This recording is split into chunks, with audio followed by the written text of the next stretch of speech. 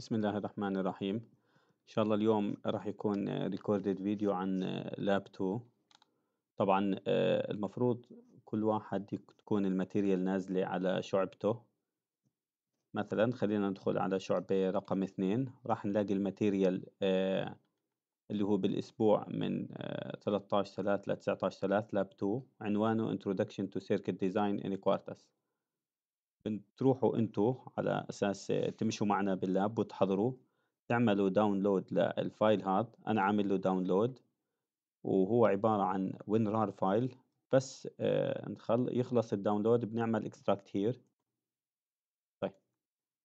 آه شو اللي موجود عندنا بالضبط؟ موجود عندنا 2 PDF files يعني إحنا المرة الماضية اللي حكينا على الأقل راح يكون minimum two files موجودات عندنا وممكن يكون folders أو files ثانيات بنحتاجهم خلال ال lab. لكن ال fileات الأساسية اللي راح تكون موجودة هي ال sheet تبعت ال lab وكمان ال answer sheet اللي هي ال pre-lab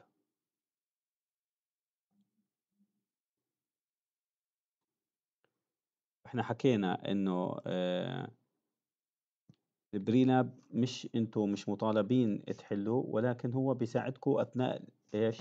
ال lab work ولازم بس يعني ما في عليه علامات لكن هو مهم جدا في التحضير لل lab راح نشوف اليوم كيف ممكن نحل ال pre-lab جزء منه وراح نخلي الجزء الثاني عليكم تمام؟ وراح نشوف كيف آه، نمشي بال lab طيب. فأول section اللي هو section ال pre-lab فبحكي لي إنه لازم تقرأ ال sheet تبعت ال lab حتى تحل الكويستشنز اللي موجودات بال answer sheet ال objectives لل lab الثاني آه، إحنا بال lab الماضي اتعلمنا إذا في عندي project موجود كيف أعدل فيه عليه تعديلات بسيطة تمام؟ وبعد ما أعدل عليه تعديلات بسيطة آه، أعمل compilation وبعدين أعمل ال vector waveform file وبعدين ال simulation تمام؟ آه، ما تطرقنا لمرحلة ال design أما ب lab اليوم راح نبلش أو راح نعلمكم كيف تعملوا project آه، من ال scratch تمام من الصفر. ماشي؟ ونمشي بال steps اللي أخذناها بال lab اللي راح. يعني هو يعني كمان تقريبا هذا ال lab كل اللي أخذناه بال lab اللي راح راح نرجع نعيده هون إن شاء الله.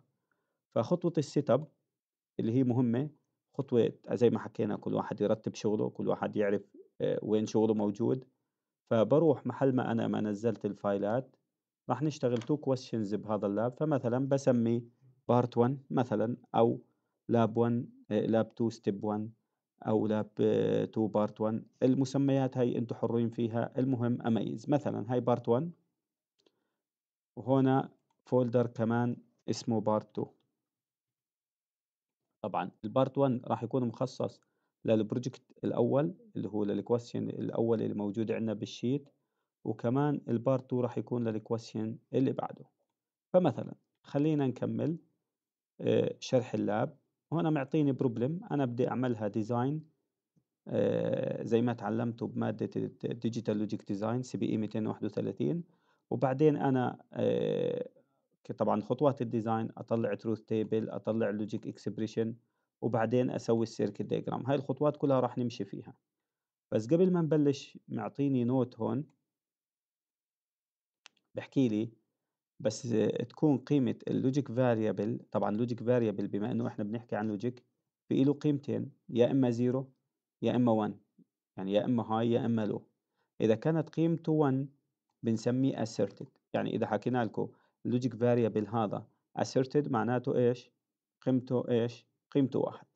طيب طبعا هذا بنحط تحتيها نعلم عليها لأنه هذا الحكي مهم بس نعمل design فنشوف ال description لل design الأول ونشوف كيف ممكن إحنا نعمل ال design بحكي لي ال description you are to construct a logic circuit. إذا بدنا نبني logic circuits عدد ال inputs فيها ثلاث فهذا الحكي موجود موضح لنا وين؟ موضح عنا بال pre-lab 3 inputs اللي هم ال A وال B وال C ماشي؟ و output واحد اللي هو ال F فإحنا قبل ما خطوات ال design إنه أول إشي نعمل إيش؟ نعبي ال truth table حتى نطلع ال logic expression بعدين نرسم ال circuit diagram أو ال schematic diagram طيب نشوف شو ال description آه، تبع ال problem هاي. طبعا زي ما حكينا عندي A B C. as input وال output F. طيب شو بحكي لي؟ بحكي لي F is asserted is asserted. شو يعني F is asserted يعني F equal 1 متى؟ حالتين.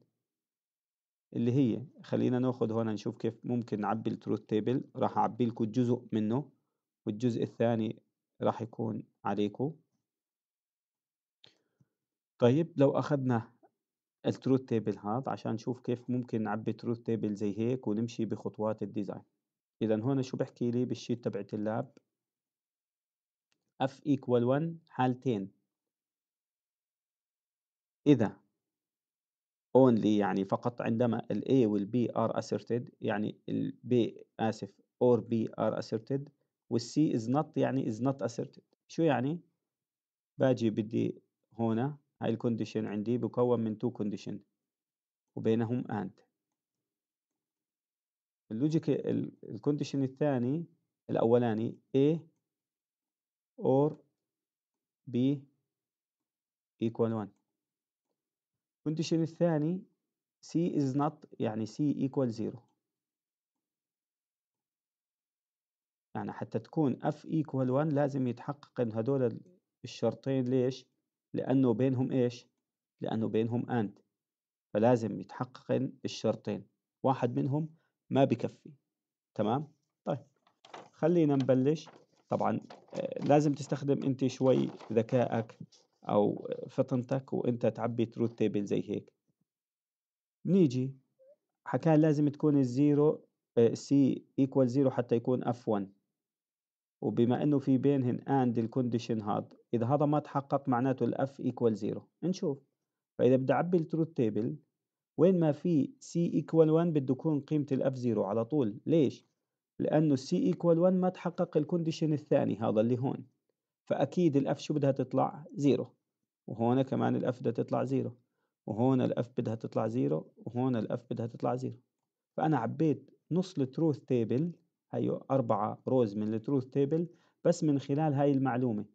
شو هي المعلومة؟ المعلومة بحكي لي. إذا C equal 0 and معناته إذا C not equal 0 هذا كله راح يطلع false. شو يعني false؟ يعني راح تكون ال F equal 0 مش 1 طيب نيجي لل condition الثاني. طبعا هو متحقق ال condition الثاني آسف. وهو متحقق ال condition الثاني. وهو متحقق ال condition الثاني وهو متحقق ال condition الثاني. هسه بنروح نبحث عن ال condition الأول. ال condition الأول اللي هو A or B equal 1 هل هون A أو B equal 1 لا فمعناته ال F شو بدها تكون؟ 0 بعديها في واحد منهن 1 نعم راح يكون واحد. بعدين في واحد منهن واحد نعم راح يكون 1 تمام؟ هنا A or B هن الاثنين واحد أكيد كمان شو بدها تكون قيمته هون؟ واحد. تمام؟ لأنه هنا A or B. يعني إذا واحد منهن واحد خلص هذا ال condition true يعني هذا ال condition الأول مقسم ل two conditions بينهن or. شو هن ال condition A equal واحد أو B equal واحد. إذا كان واحد منهن true خلص بكفي أنا حتى أحكم إنه هذا ال condition الثاني كامل equal true فالخطوة الأولى أعبي ال truth table إذا بالبداية هاي step 1 ال truth table طبعا لازم أفهم ال problem حتى أقدر أعبي ال truth table مظبوط. طيب عبينا ال truth table بعدين هسه وظيفتي أطلع ال logic expression أنا ما راح احل لكم logic expression وظيفتي أطلع logic expression يعني أروح على إذا في إشي ممكن أطلعه مباشرة بطلعه إذا ما في علاقات مباشرة بدي أروح أعمل ال K map هون عندي طريقتكم أنتو؟ ماشي؟ وأطلع ال F as sum of product. ال F as sum of product. بدنا نفرض يعني هذا فرض ما راح يطلع هيك بس أنا بحكي كفرض. كفرض طلع عندي ال F equal A. not ال A. تمام؟ and ال B مثلا plus ال C. أنا هذا فرض فرضته. يعني مش ضروري يكون مزبوط أنا فرضت هذا الحكي فرضا. طيب نفترض إنه طلع معكو هاي طبعا ال three variable map بطلع منها ال expression فالخطوة الثانية أطلع ال sum of product طلعنا ال sum of product step 2 طيب بعد ما أطلع ال sum of product بدي أرسم على جنب ال circuit diagram ال circuit diagram شو يعني ال circuit diagram أو ال schematic diagram هو زي ما إحنا شايفين هون. ناخذ هذا الحكي. A bar شو يعني A bar كيف برسمه؟ بدي آه، أمسح شوي عشان أعرف أرسم هون.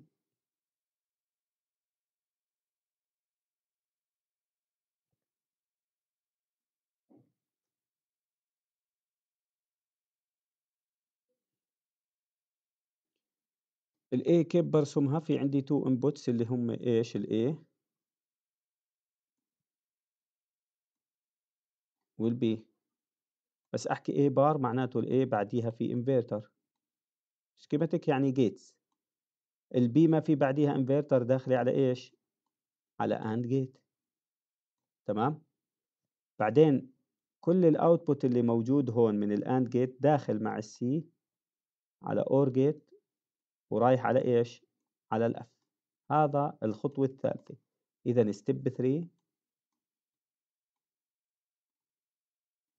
إني إيش أعمل؟ أرسم ال schematic أو ال logic diagram طيب. هسه هذا كله حكي نظري. إحنا إذا إجانا problem بالامتحان زي هيك أكيد الحكي النظري بهمنا تكون فاهمه. راح نروح نطبقه على البرمجيه شو راح نعمل؟ راح نروح نطبق الحكي آه، النظري على البرمجيه طيب. نكمل. فإحنا شو راح نعمل حاليا؟ راح نفتح البرمجية. هاي فتحنا البرمجية. تمام؟ زي ما حكينا هاي الشاشة الترحيبية اللي ممكن من خلالها نعمل create ل new project أو لا open ل existing project إحنا بنقدر من هون نعمل هذا الحكي وبنقدر من وين؟ من ال menus اللي فوق. طيب.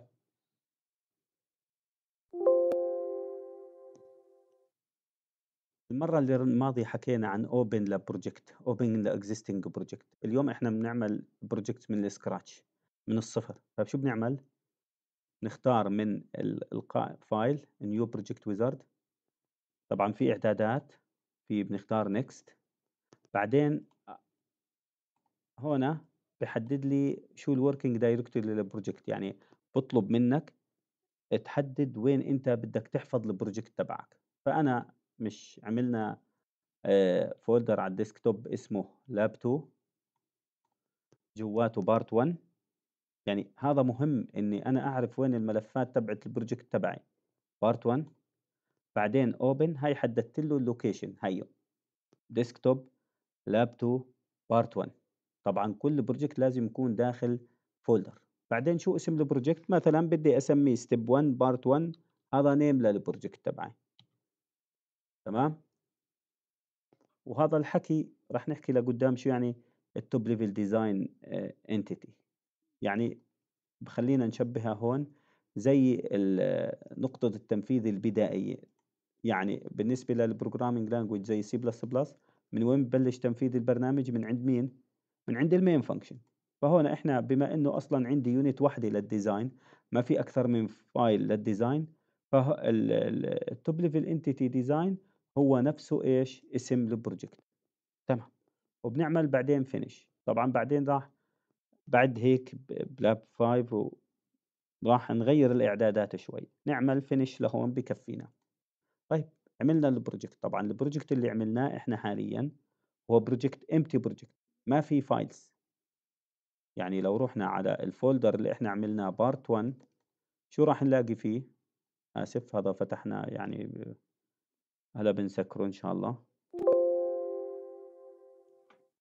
راح نلاقي فيه files البرمجية تمام؟ و folder البرمجية أنشأتهم auto generated أنا ما عملت إشي البرمجية أنشأتهن. واحد منهن اللي هو ال Quartus ال project file اللي حكينا عنه. هيو شايفين؟ وهاي ال icon تبعته ال icon طيب. ما لقينا فيه لا block design file ولا vector waveform file زي المرة اللي راحت. إحنا راح نعملهم هذول. طيب. بنروح بدنا نضيف design file طبعا هذا ال lab اليوم بيختلف عن lab المرة اللي راحت. هناك كان في design file اليوم إحنا بدنا نضيفه. فهي الخطوة ما كانت موجودة.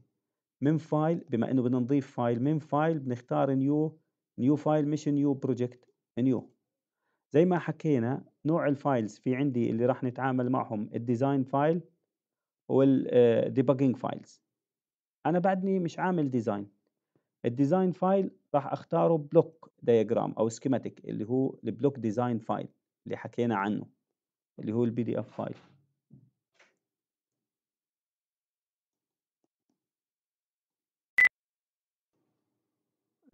مثل ما حكينا راح نعمل block diagram أو schematic file نختار له okay طبعا هذا المكان اللي راح ننزل فيه ال gates طيب لو نروح هون على ال files طبعا هذا ال extension تبعه زي ما حكينا block design file ما في إشي فاضي صح؟ أنا بدي أضيف فيه حسب ال design اللي أنا عملته. شو بدي أضيف؟ بدي أضيف AND gate وبدي أضيف OR gate تمام؟ وكم input port؟ واحد اثنين ثلاثة وبدي أضيف كمان output port اللي هو ال F. هذا الحكي بدنا نطبقه على البرمجية. إذا بدي أضيف inverter و AND و OR بروح double click هون بدي AND two input زي ما حكينا. AND two input بنجيبها من AND two أو بنروح على ال primitive زي ما حكينا logic من هون بصير من هون بصير. هاي AND two بعدين بدي ال الinverter تمام؟ ال inverter NOT. طبعا ما بكتب له NOT 1 ولا NOT 2 ولا NOT 3 ولا NOT 4 ولا ليش؟ لأنه ال NOT لها input واحد و output واحد. هاي ال NOT. طبعا بحاول أحط ال gates بالمكان اللي بخدمني أثناء التوصيل. يعني أنا هنا بدي أخذ A أدخلها على الانفرتر ومن الانفرتر على ال AND فحطيتهم تقريبا بنفس الخط على ال input الأول لمين؟ لل AND gate طيب. شو في كمان عندي؟ في عندي OR gate كمان OR 2 طبعا هذا إحنا بنحكي مثال مش هذا اللي راح تشتغلوه انتو حسب شو بيطلع معكم بال logic expression وهاي كمان نزلنا ال OR 2 كم input port بدي 3 كيف بننزله؟ حكينا double click أو على ال symbol tool من هون. بنروح double click هون بنسميه input أو اسمه input أو من ال primitives على ال pin input هاي ال input الأولاني. كم input حكينا بدي 3 لو نرجع لل design و C. طيب. هاي ال input الثاني. وهاي ال input الثالث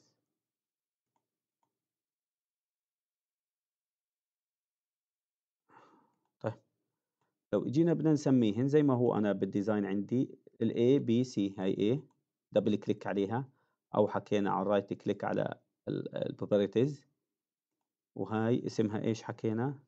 A B C هاي A. وهاي B. تمام؟ وهاي C. طبعا ال connections طبعا بدنا في عندنا output port اللي هو ال F هذا اللي هون بده output port بنروح بنضيف هون double click نكتب output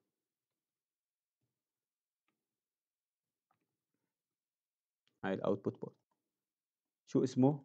F double click أو right click properties F بضل نعمل ال connections أو ال wires بنجيب ال node orthogonal tool اللي هي بتوصل bit مع bit زي ما حكينا left click بنضل ساحبينه لحد ما نوصل الانفرتر اسحب وانت ضاغط على ال left click لحد ما تطلع إيش؟ إشارة المربع. نفس الإشي هون. left click مستمرة لحد ما توصل إشارة المربع. ال B راح تدخل وين؟ على ال AND gate ال output تبع ال AND gate راح يدخل input على ال OR gate وال C راح تدخل input ثاني على ال OR gate نفس الطريقة بنوصل وال output راح يجيني من ال OR gate وراح يوصل لمين؟ لل output port هيك بنكون خلصنا ال design حكينا شو بدنا نعمل؟ إذا ضلينا طبعا هسا إحنا بعدنا كأنه بوصل wires حتى أروح على أحول cursor الماوس شو يا بعمل escape أو بختار ال selection tool حكينا بتظهر عندي هنا ال star هاي إنه أنا عملت تعديلات وما حفظتها. فحتى أحفظها شو بحكي؟ save all إذا كان في عندي أكثر من file وأنا دائما بحب save all آه، تعملوها لأنه ممكن أنت تعدل على أكثر من file وما تحفظ التعديلات هاي. فمثلا لو كبسنا save all طبعا هون مش راح تفرق save أو save all لأنه إحنا بنشتغل على file واحد. save all بطلب مني شو أعمل؟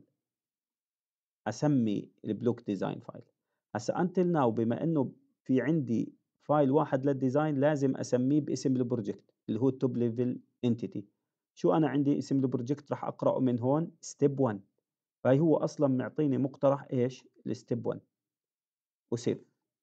لو رجينا هون على آه ال folder اللي موجود فيه ال project راح نلاقي هون انضاف file جديد اسمه step 1 نوعه Quartus schematic file اللي هو ال BDF file طيب. بعد ما هيك حكينا بدنا نعمل compile بعد ما نخلص ال design إحنا هون خلصنا ال design بدي أعمل compile كيف بنعمل compile processing compiler tool بعمل start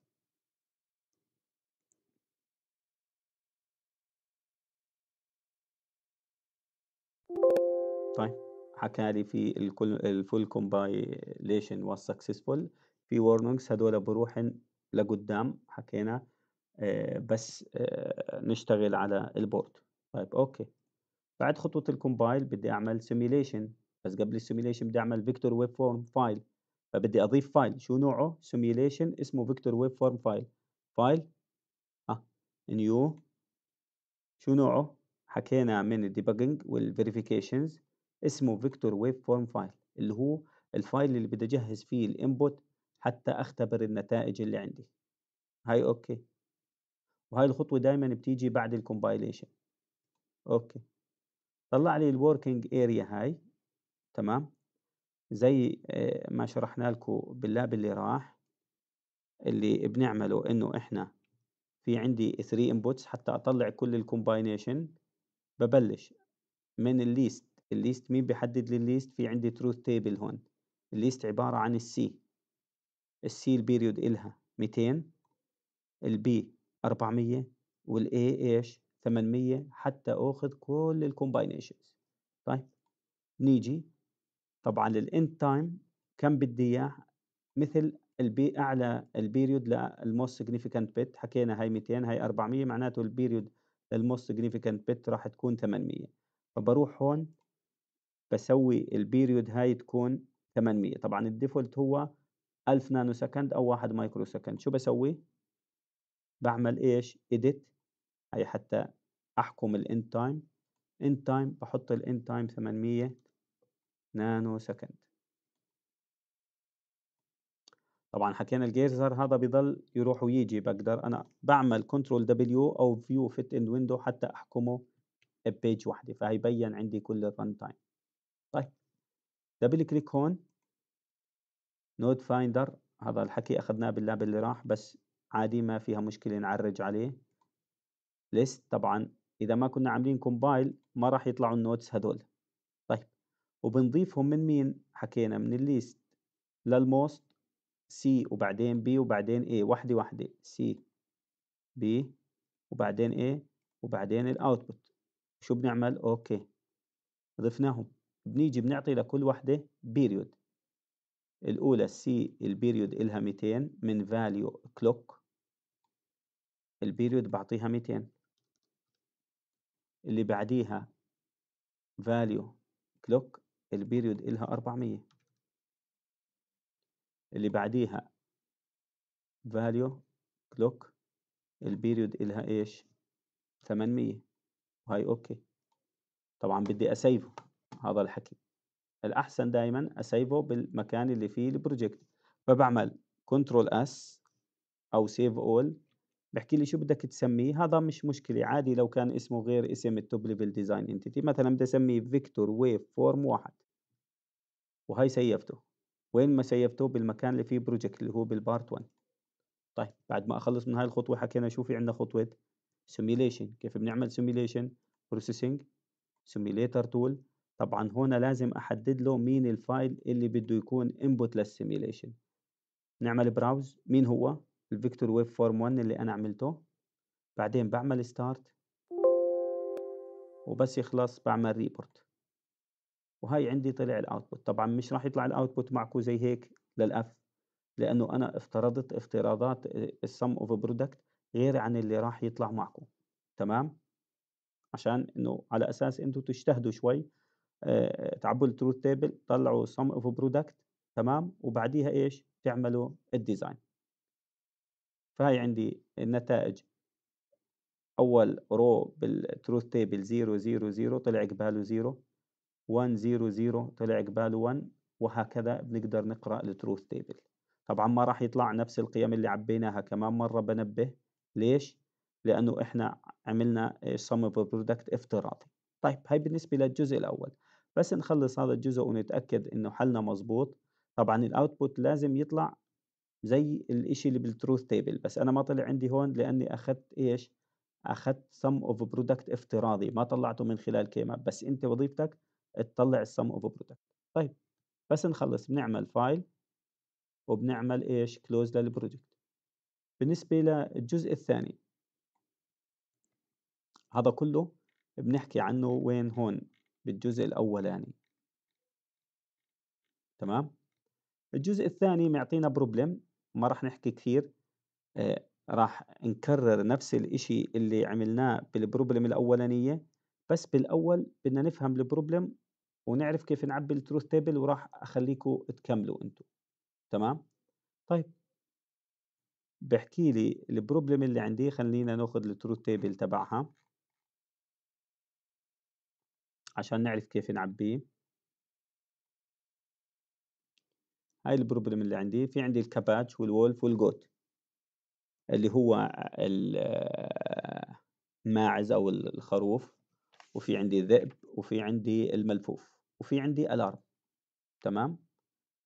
اذا ال circuit اللي عندي هاي إلها 3 inputs اللي هم السي والدبليو والجي السي فور كاباتش والدبليو فور الولف والجي فور الجوت وفي عندي ال output اللي هو ال alarm هو بيحكي لي باختصار إنه ال farmer في عنده two barns في عنده حظيرتين ال farmer يعني خلينا نفرض إنه عندي في هنا الحظيرة الأولانية نسميها X أو نسميها zero الحظيرة رقم zero والحظيرة الثانية رقم واحد. تمام؟ في عنده حظيرتين. تمام؟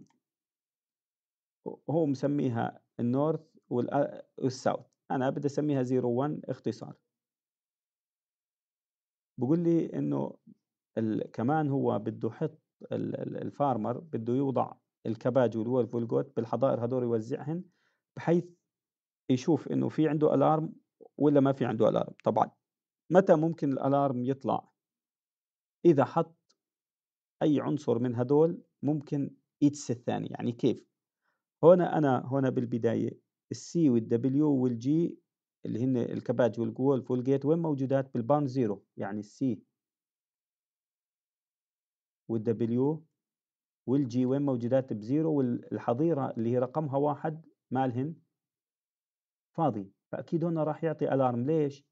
لأنه أكيد ال wolf راح يعمل eating ل لل goat وال goat راح تعمل eating لل cabbage فهنا شو بده يعطيني؟ أكيد بده يعطي alarm طيب. الحالة الثانية ما راح أعبي ال truth table كامل راح أختار بعض ال cases الحالة الثانية مين عندي اللي هي بال بال zero؟ عندي ال cabbage وال wolf C وال W هنا عندي ال G طيب. هسا ال cabbage وال wolf يعني الملفوف والماعز أكيد آسف الملفوف والذئب. الذئب ما بوكل الملفوف وال goat لحاله فما في عندي alarm في عندي zero هون. ما راح يعطيني alarm. يعني هو ال alarm وقت الخطر. إذا ممكن أي عنصر من الثاني ممكن يعمل eating للعنصر الثاني. طيب نأخذ ال case هاي.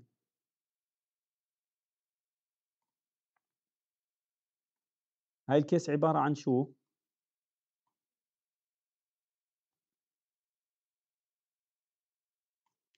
ال case هاي بحكي لي ال C وال W بالحظيرة رقم واحد. ال C وال W ما بدي أخذها لأنه هاي نفس ال case اللي قبليها. خلينا هون مثلا أخذ ال case هاي اللي هون.